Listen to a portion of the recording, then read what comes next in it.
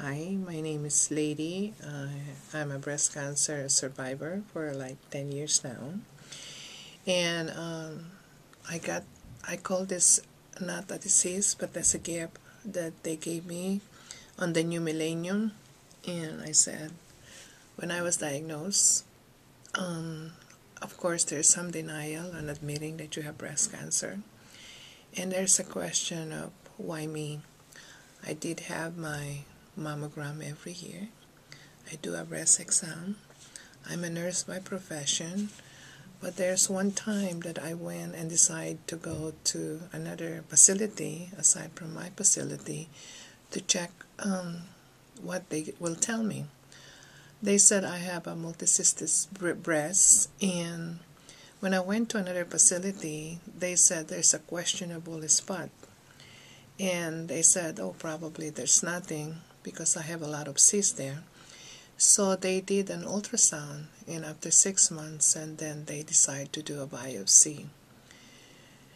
And I didn't I just scheduled it right away when they said I, we have to do a biopsy. When they have the biopsy, they called me at home. They asked me first, are you sitting or standing? And you know, when they tell you that, there's some bad news. I said it doesn't matter whether I'm sitting or standing. I have cancer, right, on the phone. And they said yes. And they said, are you with anybody? And I said, no, my dog. And they said, um, I didn't say they, I didn't ask any more thing. And I said, I want to see a surgeon because I want surgery right away. And they said, um, talk it over with my husband. And I said, I can make decision on myself. So I hung up and I said, I'll call my primary doctor. The first person I called is my mother to tell her that I have breast cancer. And then my mother said, I just be strong because God won't give you anything that you cannot take. So um, I even called my brother, who's very religious in the Philippines. Then the last one is my husband. In about two days, I called uh, see the surgeon, and we discussed about mastectomy versus lumpectomy. And I said, okay, that's nice to hear your opinion. And they discussed what kind of cancer I have. And they said it's probably a stage two. And I said, okay, let me get a second opinion. So I went to my own hospital and asked the surgeon and they said, oh, you just need lumpectomy. So I scheduled myself. You know, I know my onco which oncologist I'm going to choose, so I chose the oncologist. So I asked him for a meeting right away. The following day, I just called in sick for the whole thing because I want everything to be done right away. The oncologist um, said, okay, let's set the surgery. So I have the surgery done, and I went home. They said I was so brave. I wanted, I wanted right away. I said, this is my breast. This is my body. And I don't want to be sitting at home and making me wait because of the stress of thinking what will what happened now. At the time, my my young, I have three children. They're all in school. My youngest, son, my son was only in, in junior high school, and he knows something is wrong with me. So I discuss openly with all my children what's what my diagnosis is. So I had my surgery, I went home. And then, but I started doing research on my own. I, I have a cousin at the time was undergoing also a treatment for breast cancer. And we support each other. I tried to talk to her about a support group, but she said she's too weak to go to a support group. And and I don't have any support group in my hospital that I worked. So I said, okay, let me look around.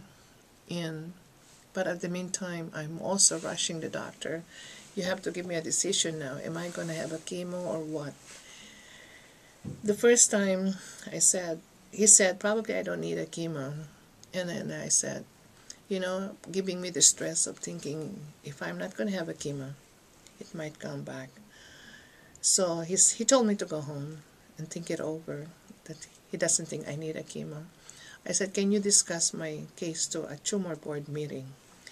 and probably I want to attend to a tumor board meeting so you discuss my case. And he said no he will relay it to me. So I went home I have my hair cut I, I chopped my hair so so short. Then I said I called him back the following day I know they have a meeting. And I said so what's the verdict and he said okay. They said that if you need want to have a chemo you can have a chemo. So I went to have a chemo but I made a research okay let's discuss what's the side effect of this chemo. And there's still no support group that I can find. I went to uh, we have a support group here for general cancer meeting but I got so depressed when I'm listening to the other cancer cases it doesn't pertain to the breast so I said no I don't want to listen to this I'll do my own research and my cousin will do the same thing so I have my chemo, and um, the the, my, the the nurses that gave me chemo are my friends. So we they supported me. We talked and discussed the food. It's so funny if you are a medical person, they tell you, go take this, take these drugs, take this, you know, um, vitamins to increase your resistance. I call it my fertilizer, and they said take vitamin A and but this, my oncologist said refrain from certain kind of vitamins. I said okay. I eat any food I can see whether it tastes good or not. I said I have to eat because they told me I will drink Ensure and I hate milk I don't I can't even take um, milkshake. I can take yogurt. My friends will call me. I that's when you see your real best friends are they give me the best food that i will love and i eat it whether it tastes okay or not. I don't know if it is an old food or not but i just gobble it. Among the cancer patient i gained 20 pounds while i'm having chemo then my chemo finished and i said so what are the other options now then I read about tamoxifen. I have adriamycin and cytoxan. And then I said, so I went to my oncologist and said, are you going to start me on another tamoxifen or, or, or? And he said, how come you know more than us? And said, I read. And I said, I read about these drugs. And he said, no, you have enough. He said, you're going to be started on tamoxifen pills. And he said, for five years you take. And I said, oh, so when will that start? And I and she told me he told me to rest for a while, go on vacation, and don't be thinking too much about it. So my husband took me for uh, a trip.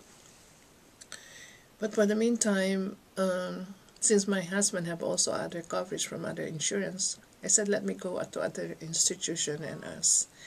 And the first thing I asked that oncologist is, are you going to put me on another chemo drugs? or tamoxifen before or Doxycycline before my hair comes back? And he said you don't need one. Who told you that you need one? I said me. Probably I need it. So so before my hair comes back I want all the drugs now. I said I don't want to see my hair. And then you will tell me I need another drug. So I finally decided I don't want to take it so I just took tamoxifen for three years then I, there are new drugs again. I found support group. I attend classes about cancer. And um, at that time, I met other cancer patient, and my goal is no woman, no woman should go through this alone. And I said, I'm going to do something where as soon as I finish all my treatment.